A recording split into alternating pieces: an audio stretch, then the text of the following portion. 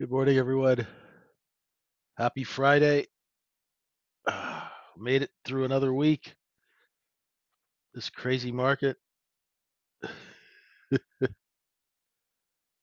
So the trading in Globex so far has been pretty pretty standard. Now, kind of walk you through what happened at the end of the day yesterday. There was, you know, we drove way way up over 4400, you know, hit that oh 07 area and then liquidated down. Now, see Derek Derek was saying that he's having some trouble and and that that you know that makes sense because when you come into this, a lot of traders are taught to trade off of technical analysis, and, and that's all good and everything like that. But they don't know why the price is moving. So it's pretty hard to know whether to go long or short if you don't know what's going on. And that's what I really, really want to try and teach. Now, in Globex, here's the open of Globex, which is right where we closed yesterday. We opened and drove up, and that was basically a stop run because if you look at this O period went down here to 4380, the size traders had to buy the market and they'd be positioned long here. So when the market opens, they blow off that position, right? They they cash up, right, a little bit, right?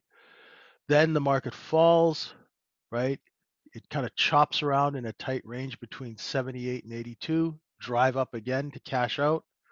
When markets drive up and then come back in, these are what we call stop runs. They happen so the people who buy, right? Now, yesterday somebody said for every buyer there's a seller and all this nonsense. But what happens is when you sell or buy a contract, there is someone who takes the other side of that trade, and that is a wholesale market maker 90% of the time. Now, the CME does match orders and things like that, but there are market makers who provide liquidity, and their job is to buy when nobody else buys and sell when nobody else does. So if they buy when nobody else buys, how do they get rid of that product, right? You got to think if you're buying all the time, you got to be constantly selling too, right? Otherwise, you're just buying and buying and buying and bankrupt, right? So what they do is they accumulate size and then they move the market higher by taking the upper stops. That creates liquidity, right? Because none of you guys have ever created liquidity, it's kind of hard to imagine why this happens. Sometimes there is no buying in a market. You got to create the buying. That's why I always say, as a trader, we need to focus on supply. Don't worry about the demand. We'll take care of that on the other side. Okay? We'll create the demand. You just make sure when we create demand and you're long, you sell into it. Okay? So what happened was the market did this stop run, and then as soon as you take an upper stop and there's no continuation, you should automatically be as a trader thinking, let's look at the lower stops. So when W took these lower stops, the people who were long in this area puked out and sold here. Now you'll see that the overnight low was one or two ticks above the low from two days ago, the T plus two low. So what happened is because the market again shorts got trapped yesterday, right? Because C and D pushed down and then we had this rally at the end of the day and the shorts were trapped above 4377 because that's where the time and volume profiles are. So the market sold off, the shorts came in and started to cover, right? The shorts are always the first people to buy when a market drops. Does anybody can anybody tell me why?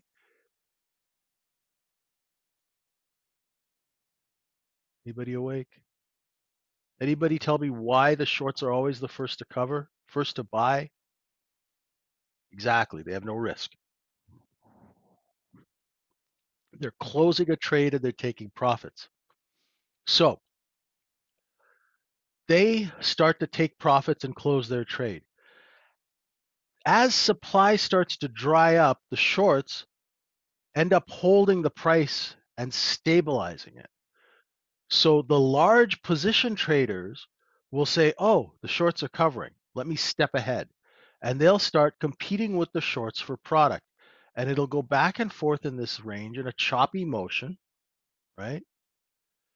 And then once that all of the selling supply is exhausted and sucked up like a paper towel sucks up water, they move the market higher to sell that supply.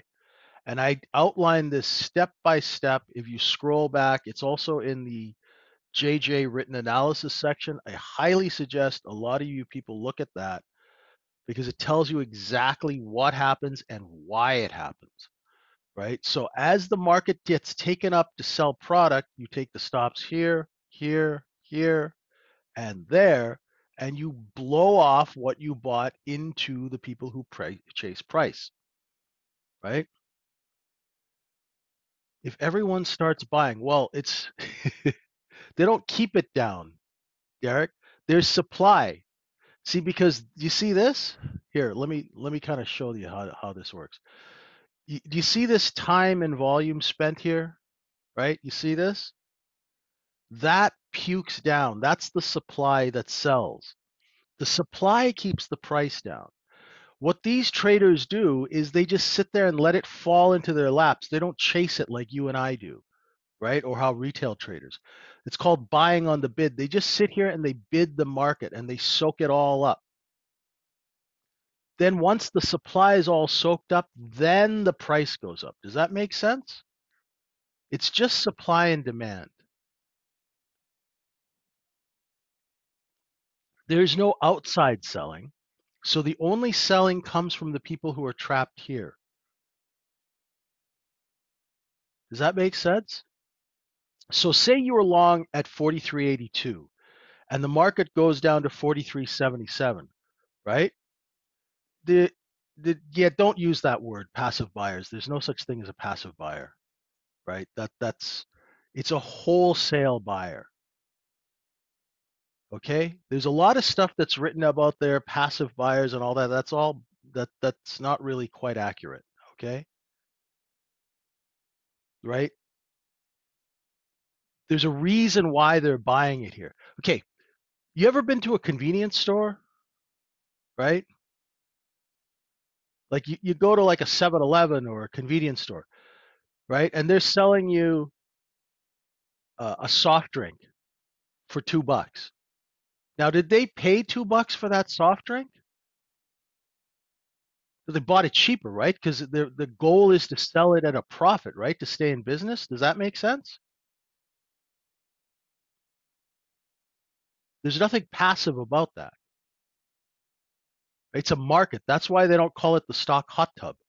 It's the stock market, the futures market, because it's a market, right? And the goal of a market is to buy some cheap crap, mark it up, and sell it to you, right? So here we're buying the cheap crap, right? Because people are selling it, right? Just like a used car lot, right? They sell the car at a higher price, they buy it back cheaper, then they go and sell it up higher. Does that make sense? It's just commerce, right? The, the and the, the thing is, there's so much BS written on Twitter and all these trading rooms about passive buyers and unfinished business and all this just total bullcrap, right? That it confuses people, right? So the sellers, who is the people who are trapped long here, sell down to the to the cut to the to the shorts we're covering, right? The shorts stabilize the price, which means if there's 10,000 contracts for sale trapped long, and they sell those 10,000 contracts, the shorts cover, they maybe buy five. Then wholesale buys the other five. And that's it. No more selling. Finished business. Now, so the wholesalers take the market up by just stopping, they just sell at higher prices. And that's how the market goes higher, right? Because buyers realize that the selling has stopped and they jump in, right? So the market runs the stops. This creates the liquidity to sell all of this position up here. And then what they do is once buyers get tired of buying it up here, they sell the market down into where their cost basis is, just like they did in I, right?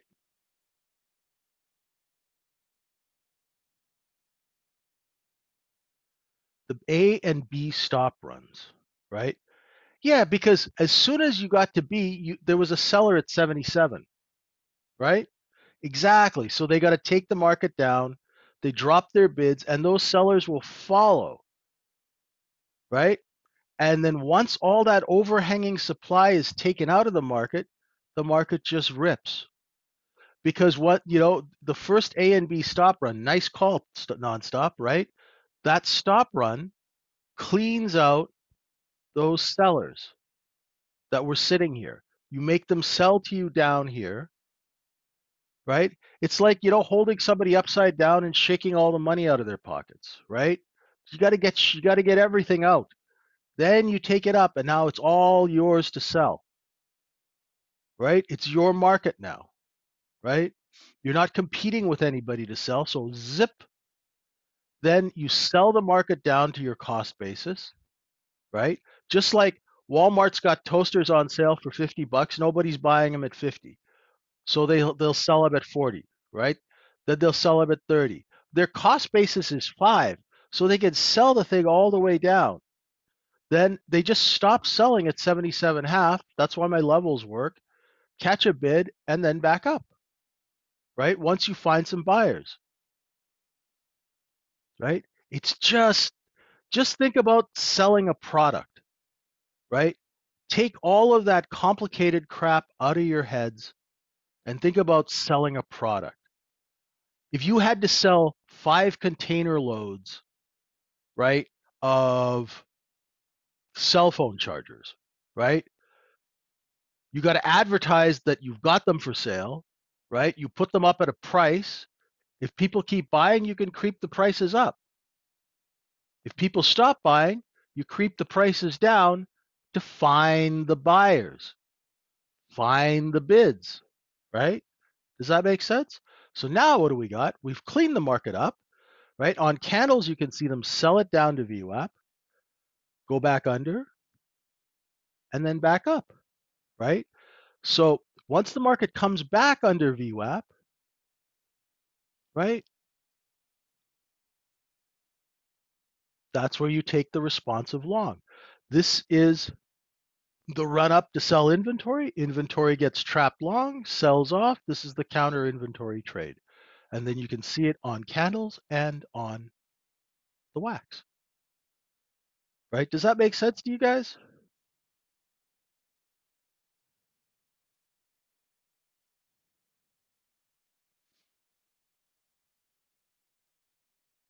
Cool. So now what are we looking for? Right? So now we flush this thing, right? Now we're coming up to 88. And let's see how much of a seller we have at 88. Now, here's where it gets interesting, right? Because really the higher the highest stop is up here. Hey, Bonesy, how's it? Right? The highest stop is up here. So when the market gets up to that highest stop, right? Does it have the order flow? Because these guys can't do anything. The size traders, the wholesalers, the big prop traders, they use the order flow that comes in to the market to help leverage their agenda, which means, right, they use that as leverage. So if a bunch of buying comes in and I've got an account that's long a bunch of crap, I'm going to use that buying to sell my long position into, right? If a bunch of selling comes in, I'm going to have an account that's short and I'm going to use that selling to cover my short right? Because these wholesalers and size traders, they're they're not just like us. They they don't just have one account. They have multiple accounts, right? That you know, and that's how they make money, right? By providing that liquidity. So now what we need to look at is do we get over 88 or do we find a seller at 88, right? Sorry, I went through that whole long thing, but I wanted to to talk about what I've written up this morning before our session so people can get an understanding and a sense of why markets move. Because if you understand why they move and you understand what the business practice is, you're going to make a lot less trading misjudgments, right? That keeps us from shorting at the lows and it keeps us from buying the highs, right? Because a lot of people are taught to buy breakouts, right? But those are those are false breakouts, right?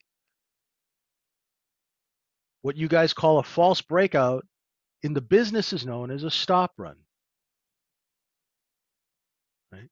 So see how there's a little bit of a seller at 88? Anybody want to guess who the seller is at 88?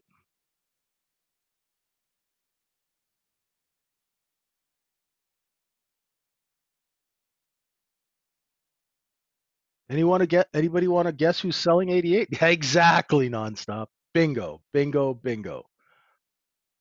Right? Exactly. Now you guys are cooking with gas. Beautiful.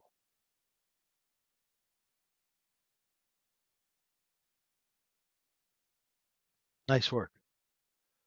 So now, as retail traders, what the hell do we do, JJ?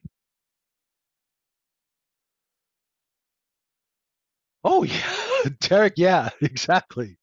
Well, that's, they they filled them and drilled them, baby.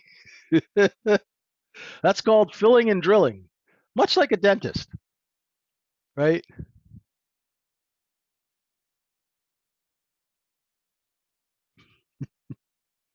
Exactly. Now, now you're seeing it. Now you're seeing it, right? These guys were positioned long in the J and K, back and forth, that scrubbing motion, like Granny on the washboard. And up here about 4,400, look at the, the point of controls up here, right? You nailed it, Derek, right there. See all that volume? And then they just hammered the market down in M&M to get rid of their inventory that they bought here, right? Exactly. They need to stock up again, right? Just like you have a convenience store and you sell out of cigarettes. You got to go to wherever the hell you buy cigarettes at wholesale to go buy them back. Bingo. Now you got it. Now you got it.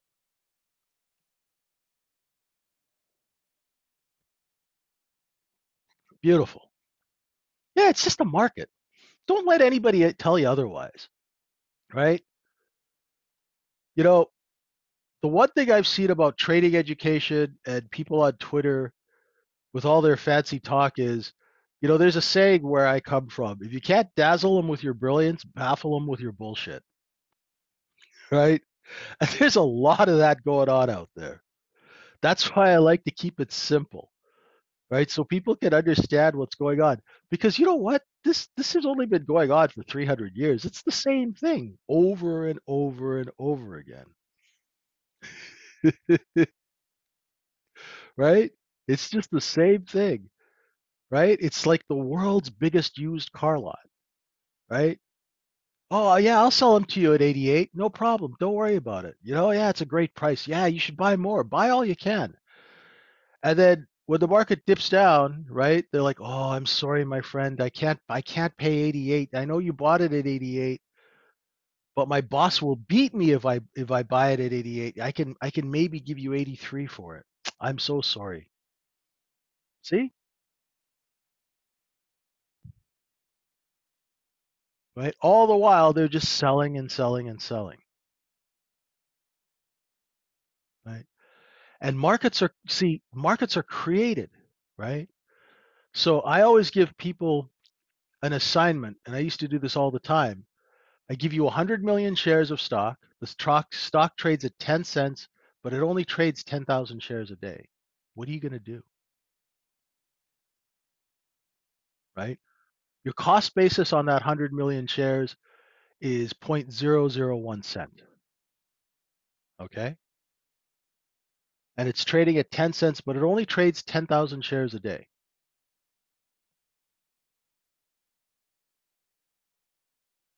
It's the same cycle in higher time frames, Pello, because right now we don't have a lot of investment money coming into this market.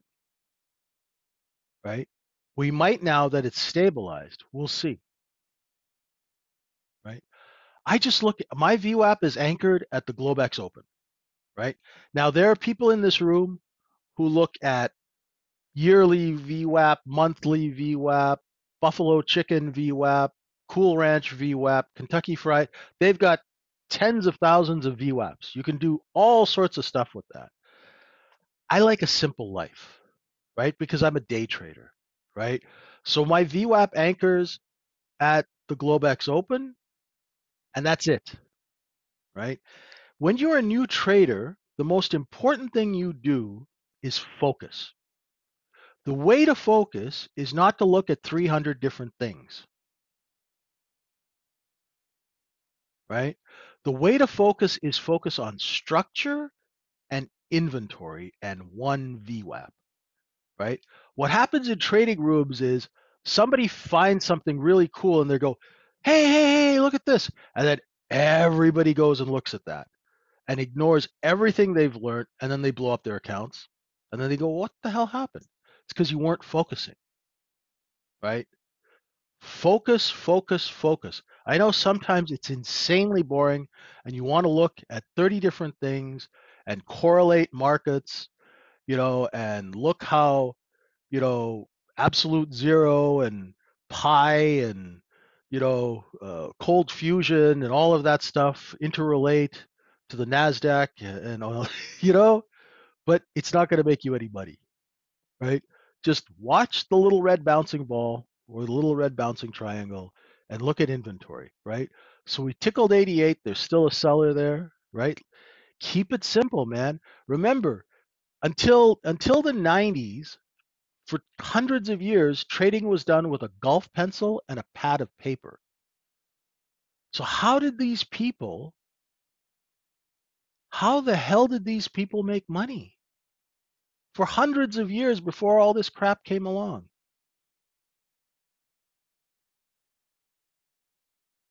Think about it. What they did was they looked at levels and they knew that if a market traded for like three weeks, like say a market is like a is a ten dollar stock, and the market's trading for three weeks between ten and twelve, and it can't crack twelve to the upside, and it breaks ten. Well, then it's a short because you got people trapped from ten to twelve who are going to sell out, and you know before that there were bids at six, so you short ten to six, right? So you short maybe nine and a half, and you cover six or seven.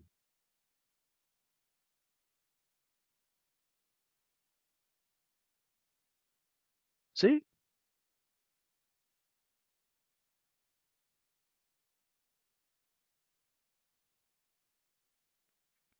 So now we're waiting. we got five minutes before the London Open, right? So we've gone, we went up, we came down, we went back up, we're coming back down. Now let's see if we hold that 84 area, right? Into London, right? Because what usually happens in London, a situation like this, is London will come in and they'll start, the market will sell down before London, and then the market, London will come and bid the market up. But it all depends on inventory, and we have to watch that order flow. So let's watch and see what happens now.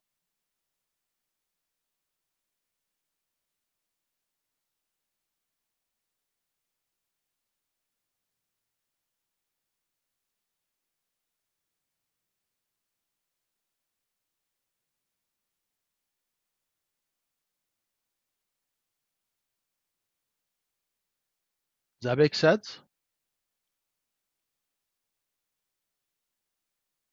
Okay, guys. Let me know if something needs to be explained in different ways, right?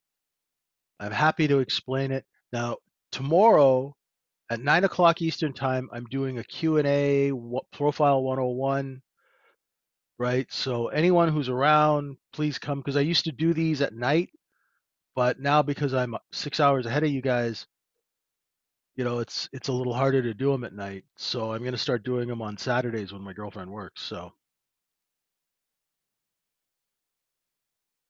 you know, and we'll record them so you you know.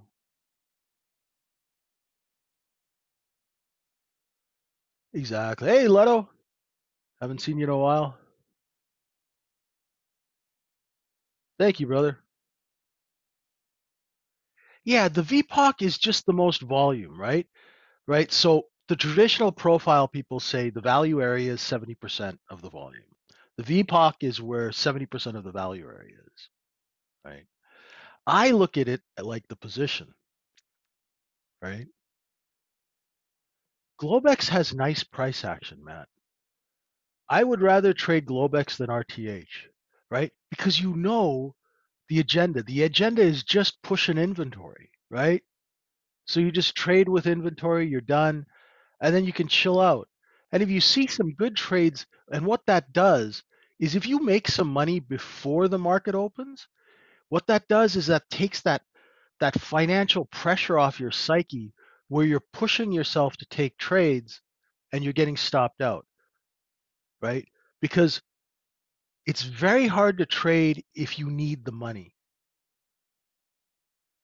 The best traders I've ever seen trade like they don't have a care in the world, right? They have this sort of like flow, right? There was this old dude. There was a brokerage firm called Dominick and Dominick in Vancouver, and there was this old the old guy who owned it. His name was Bruce McDonald. May he rest in peace. And Bruce was an alcoholic, and he would trade when you he was drunk to the gills. This guy would trade. You know, it would be like watching Michael Jordan play basketball. Dude was half cut and he would just be in and out and millions of shares here, millions of shares there, just boom, boom, boom, boom, boom. End of the day, he's got five million bucks in the account. Thanks, bye. I'm off to the bar. Right? And he was just he was just loose. Right? So, you know, he rides the bus home.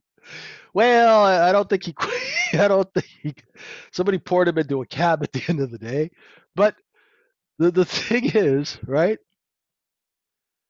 You know, you, you care about your risk, right? You have to.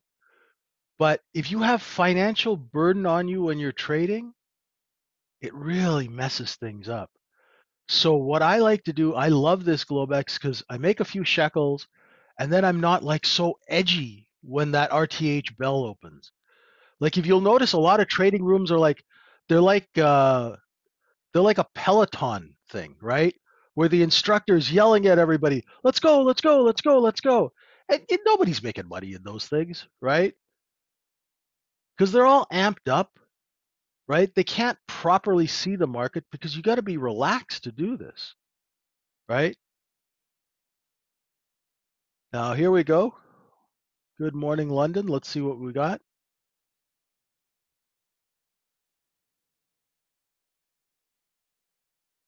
Now, if we have some juice, we'll go take out that K high. So that that's our focus on the upside. Our focus on the downside is that M low. So end period just took M by just a couple of ticks, three. Now it's going to go down and try and find the bid. So if you're trading this, right, and say you're short 88, right, you're looking for responsive buying at 86. There's a tiny bit of a position here that they sold up here. Let's see if they sell it down to that 86 position. Hey, Mark. Well, losing gives you lessons, Paolo, if you understand why you lost.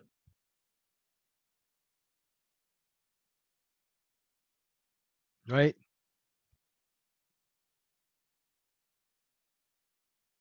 If you don't understand why you lost, then, then there's no lesson. It's just like gambling. Right? If if you are if if you're you know, if you're methodical and you write down like yesterday I took some trades and I was trading too early and I found myself trying to force things. So I, I got stopped out a couple of times then I went back in, made that back, and just kind of flattened out and got up a couple of. I was up like three points. Then I went for a walk for an hour. Right, and I just blew my head out and went for a walk for an hour. Came back, sat down. I was in the flow again. Right, make use of that 23 three hour trading cycle. Don't just sit there for hours and hours. If you are sitting there for hours and hours, don't trade. Watch and write down what's going on in your trading journal. Right? So N, right? Now they're going to sell this market down and let's see. Remember we said if you're short 88, you should be looking at 86, right? And now 84. Let's see we can go down and tickle 84. Let's see how much buying there is at the close of yesterday. Watch. See? See how it got down to the close and stopped one tick before? So there's a few buy orders in there, but they're not that aggressive. Because if they were aggressive buy orders at the close, it would bounce higher. But see how they're filling those buy orders? So there's a little bit of supply that's coming in and filling those orders. Now, if we break 84, we'll be looking for 82, right? So you can use the levels on this one minute candle chart to take some decent trades because what these candles do is they tell you what the short term inventory corrections are, right? So now you know that the inventory is long over 84. So a break of 84 will take us to 82 because here we couldn't get down to 82 other than that flush and up. So if we can't get down to 82, just give this a little bit of time and watch and see whether we can, right? Because if you short here, you have to wait till you have to you'll have to take the market down to that M low and blow out those stops to get a decent cover, right? So what I'm looking for is, right, I missed the short. I should have been short 88, 87, right? So I missed that. That's okay. So now we're looking for a responsive long as the market liquidates. But we got to let it liquidate and let's see where the shorts come into cover, right? Because if we can't get down to 82 like here, right? That means we'll creep 84 and we could look to go long 84 to 86, 87. Does that make sense? That's how we look at taking trades, right? Um, who was asking? Who was asking? Who was asking? Derek, Derek, right? You don't know whether to go long or short. So this is what's telling you, right? This is supply over 84, right? As that supply leaks lower, you don't want to really short it until you know that that supply is going to break loose and the price action is a little slow. So just this is like an area where it's a little contentious. You want to see this group of candles, whether or not the subsequent one minute candles can take that out. Otherwise, the auction is going to be to the upside. See, there's 84, 84 half, right?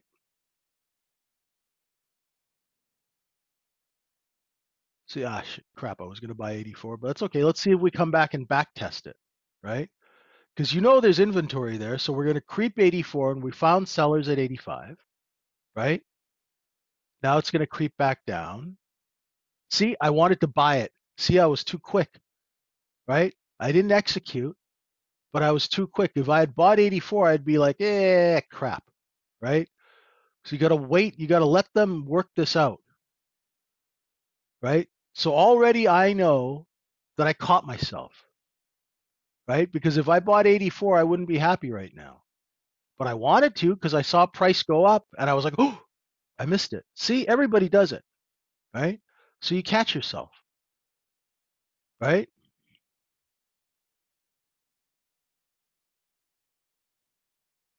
So now I just got to wait and see if it breaks 82. Because if it doesn't break 82 and it creeps 84, that's probably a better buy. But the price action is sporadic right now. So I got to let this work itself out. Because if it breaks 82, we're to come back and tickle VWAP, right? Because all of the inventory is above 80. If it breaks 82, it puts 80 into jeopardy, right? So I got to let them work this out. And I'm not to step into the middle of that until I see the price stabilize over a level that I'm looking at. Does that make sense?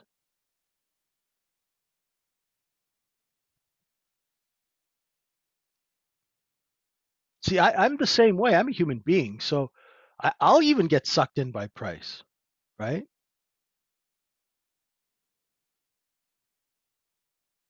Happens to everybody. It happens to everyone, right?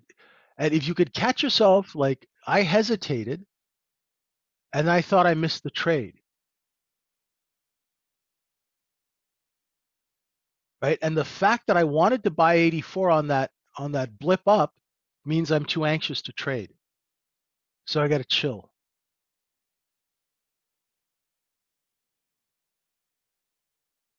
Right. Now let's see if we can let's tag 82. And now what are we looking at? Right. Remember I said if the market couldn't take out the K low, right? We should be looking at that M low where the stops are, right?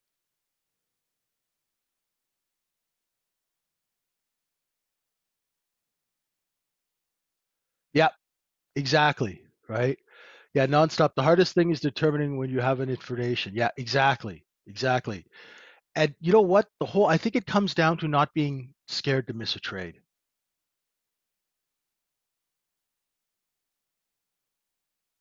Right? I always trade too early. My biggest fault is always trading too early because I was taught, right? My very first client was a Swiss bank, right? And this guy who ran the bank, who was the president of the bank, he didn't want to trade with me because I was a rookie. The only reason that bank opened an account with me is because my client, the Penguin, had $400 million in that bank. And he told the banker, You're going to give your orders to JJ because he's my boy. Right. And the banker said, Well, he doesn't know what he's doing. And the Penguin said, That's okay. He's loyal. You can't teach loyalty. Right. See, now, now we're starting to creep over 84. Right. So this guy would call me at three in the morning screaming at me. Right. And if you don't answer the phone on the first ring, you're fired. If you take 30 seconds, longer than 30 seconds to fill a trade, and this is phone trading, where you had to call market makers to put in trades, you're fired. If you miss a fill, you're fired, right? So you learn to trade quick. And that's my flaw when I'm trading retail. I always want to be Johnny on the spot, right? So I'll trade too early, get stopped out, and then the trade will go in my favor. See how they're screwing around 84? Because they're selling inventory above 84, right? These one minute candles are a beautiful way to see where inventory is on a short term basis. People use candles. yeah, you got to trade like the, like, you know, the dude abides, right? The dude abides, right? You know,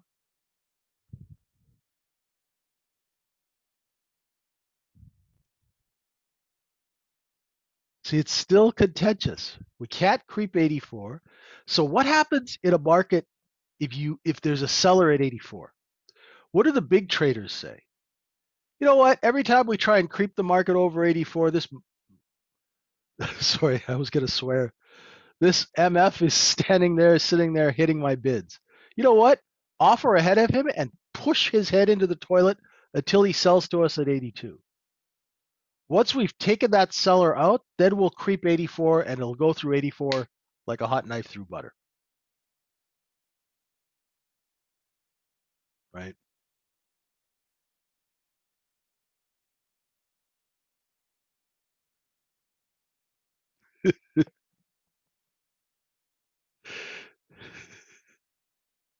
exactly, right? See, look how we're they're just playing with that seller. Right now, the algos are programmed to do this. It's not like a bunch of market makers sitting on the phone smoking cigarettes, like in the old days. But the algos are doing, in effect, the same thing that I'm talking about. The algos are programmed to step ahead of a seller, step ahead, drive that seller into your bids at cheaper prices, right? Now let's see if we can stay over 84.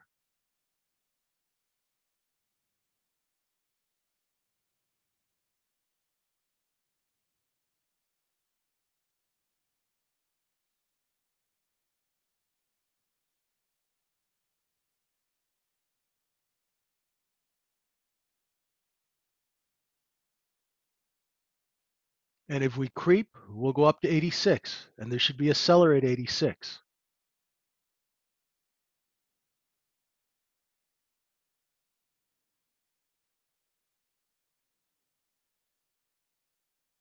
We're holding 84.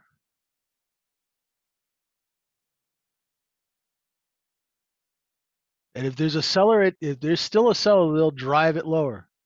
They don't care.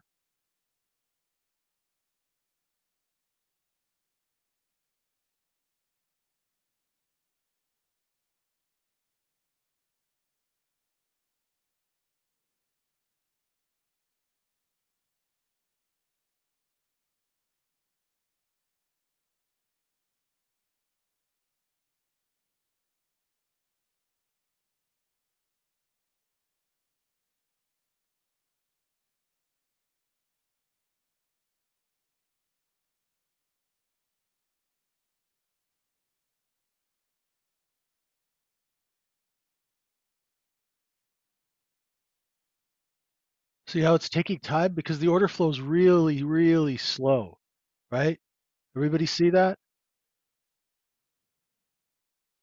Now we should go creep up to 86, right?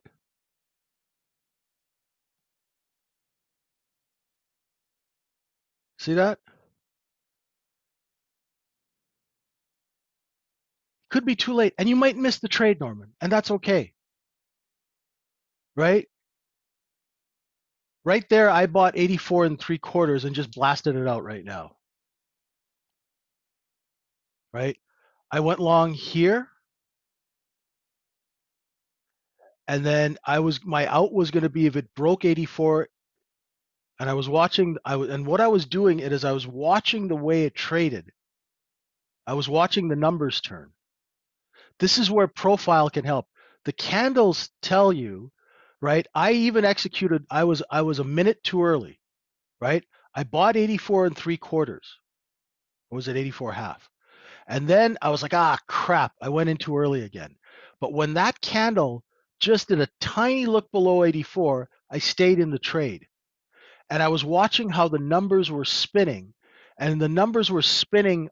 If they start spinning 83 three quarters, 83 half, I'm out. Right? But if the numbers here start spinning over where I bought or close to where I bought, that's where you have to use kind of both the profile. So what a lot of what a lot of what I do when I'm trading is I just go like this and I move that chart here so I can watch. Right? And I'm watching the numbers turn because that's telling me where the buying's coming in. See, look, 87, right? We're trading 87. There's 87 quarter, printed quarter, back down, right? So this is not this isn't beautiful order flow, Norman, right? This is this is really okay, let me be honest. This is crappy order flow, right? So it's a little harder to trade and you got to kind of be on it a little bit, right? But that's okay. That's okay. Right? Because if you can master this, even if you just trade with one micro to get into that, when the order flow changes and becomes more, you know, fluid, right? It becomes better, right? Uh, you'll be acing it. What is my 10 times multiplier? Oh crap, I have no idea. I don't know. Let me take a look. I have no idea. What the hell is a 10 times multiplier? Uh, hang on.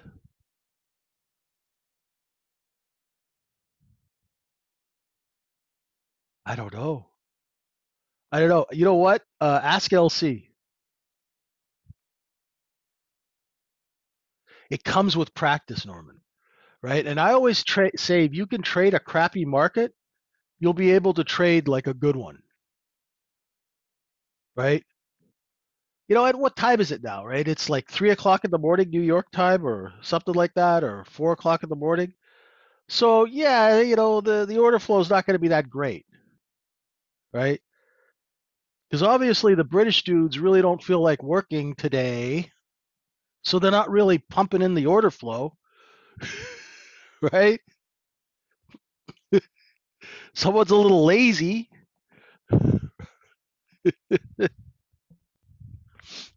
Just kidding.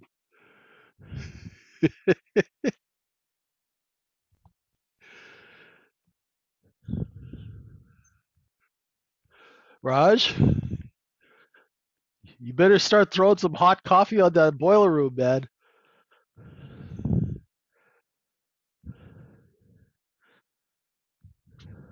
Oh yeah, that's right. It's um, it's options expiration, right? Bacon sandwich and tea. Oh my god.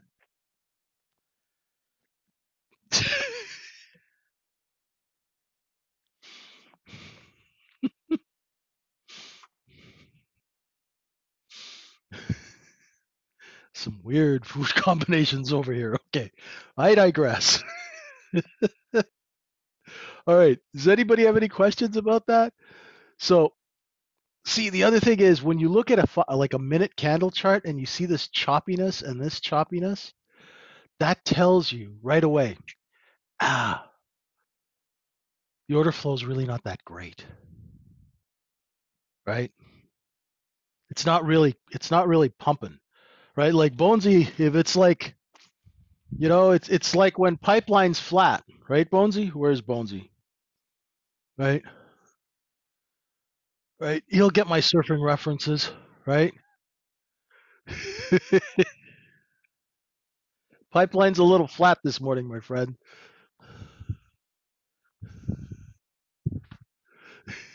Right? Ugh, I can talk the surfer talk, but I'm not that great a surfer.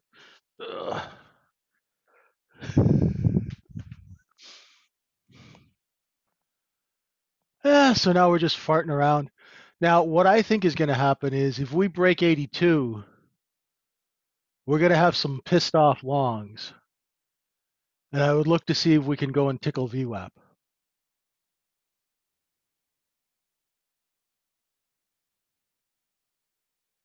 Yeah, see, Matt, you know, there was there was a guy. Has anybody ever heard of Lewis Ranieri? Lewis Ranieri? He invented the mortgage-backed security. At Salomon Brothers in the 80s. He was like the trader's trader, right? And his and his his traders, he ran the bond desk at Salomon Brothers in the 80s. And his traders would be like, "Do you like him, Lewis? Do you like him?" And they'd be talking about the price action. He'd be like, "Nah," you know, or you know, and if he'd say he liked, you know, if he goes, "Yeah, I like him," then the traders would go in and start doing their business because he'd watch the price action. Right? So we're always see we are slaves to the price action because we don't create the order flow, right? That's you know, we're we're slaves to that price action. So there are some times as a trader where you just don't want to play, right? You just don't want to put your money to work when it's crappy. Does that make sense? Wait for a better set of waves, right? Remember, it's your money, right? I always tell people be a price action snob. And my and and the example I use is like say you got 5 grand in your pocket and you're going to go shopping. Would you rather go shopping in Beverly Hills where it's a nice beautiful store and a really pretty assistant, you know, sales assistant comes up and they give you a nice cappuccino and they flirt with you and everything feels good, right? Or would you rather go shopping in a tough area of town, get rolled, them steal your money, and you end up in a dumpster? Right? Be a price action snob. It's your money. You worked hard for that money. Right? Like guys like Matt, like guys like that, Matt, Matt F, that dude puts his life on the line every day for his job. Right? 5K in Beverly Hills. Okay, well, all right. I was being cheap, best. Okay, say 100K, right? You could buy a pair of shoes, right? So that money that, you know, that money that that you're making, you know, it comes the hard way. Don't let it go the easy way. Right? Now, now you see we caught a bid down there at 82. Right? Now let's see what happens. We couldn't take out that M stop. See? Very interesting. Yeah. That nobody wants to go out without AC or nobody wants to go without heat. Right.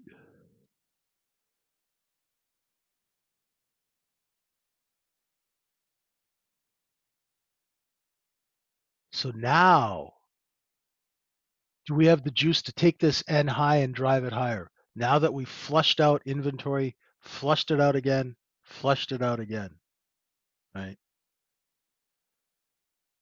So that's basically what we're looking for.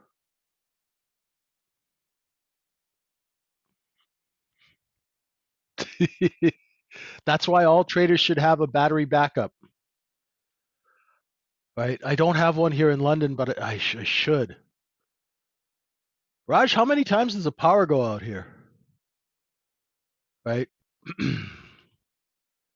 but I had it in Saskatchewan all the time. Give you another it gave you your modem and your computer are uh, are tied into it. Right? Get go and get a battery backup. Because it'll give you 10 20 minutes of time to close your positions out. Um, and always have the phone number of your trade desk programmed into your cell phone. So if anything happens, you can call the trade desk at where you're trading and have them cancel out your trade. Have your account number accessible, right? Have that have that always on your desk, your account number, the phone number to the trade desk, right? And what your position was just in case. I know I'm a nervous Nelly, but man, I've seen everything. Does anybody have any questions?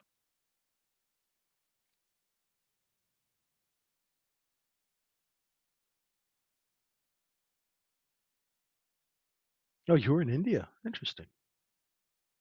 I haven't even been to India. My mom's from India.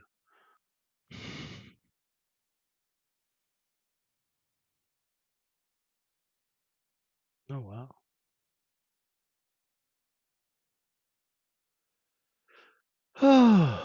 well, guys, I think it's been a good session. I mean, the trades haven't been that great, but it's Friday and it's options expiry. So remember, if it's options expiry, right? So what? Oh, here's the other thing, right? Fridays in this business are about protecting the money you made all week. The end of the month is about protecting the money you made all month. The end of the day is about protecting the money that you made that day. Remember that. Right? So Fridays is not a day that you push it. Friday is a day where you put your arms around your account. And for those new traders, you should be wiring money out of your account every Friday, every second Friday. Take the cream off the top. Keep your account small and manageable so you don't get too big for your britches. Now, senior traders, you know, you don't, you know how to risk, you know, you, you have risk management, and I don't need to tell you that what to do. But for newer traders, if you made money this week, take a little out, pay a bill or two. That'll make it real because it's there's no such thing as house money. Okay, house money doesn't exist. All right. Good stuff, guys. Have a great night or morning. I will see you guys at RTH. And then remember, I'll be doing a session on Saturday morning at 9 Eastern Time. Mahalo, Bonesy. Go have some Loco Moco for me, brother. I'm still dieting. Thanks, Derek. Derek, if you need any help, just DM me. All the guys who are new to, tomorrow will will go through scenarios and stuff too. Nice work. Oh, nice. oh yeah, I'm gonna be on a diet for a while. I still got 40 pounds to lose. So it's a lifestyle change. No more Saskatchewan pizza. Thanks, everyone. Have a great morning, and I'll see you at RTH. Great questions today, guys. Keep them coming, right? And keep asking questions. The more you ask, the more questions you ask, it makes me a better teacher, too, right? So I appreciate that. Because I'm just learning how to teach, you know. It's only been a couple of years. She's doing good. Thanks for asking. Thanks, everyone. Talk to you in a bit. Trade safe out there. Bye for now.